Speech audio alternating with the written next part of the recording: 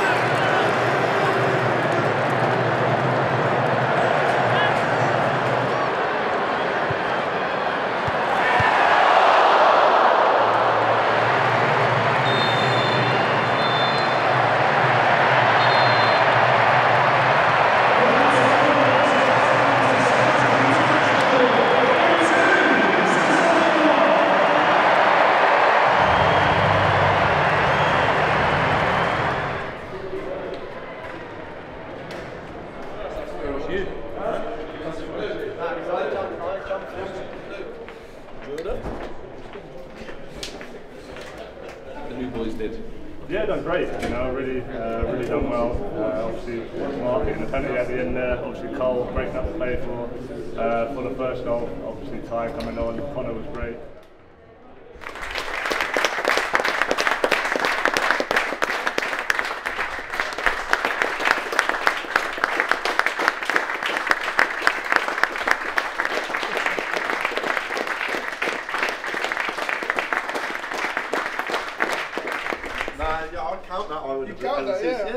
Yeah. yeah, I'm counting it, bro. If you can't, I'll, I'll take it. Ty just feeding me all game. You know what I mean? My guy, you know. How does it feel to, you know, receive these caps and have the numbers uh, official?